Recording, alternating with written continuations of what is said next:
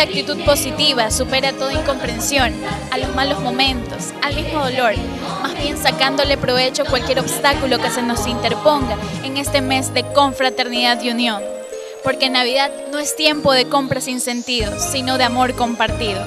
Les deseo a todos mi gente de Chone una feliz Navidad y un próspero año nuevo. Que tenía la nariz roja como la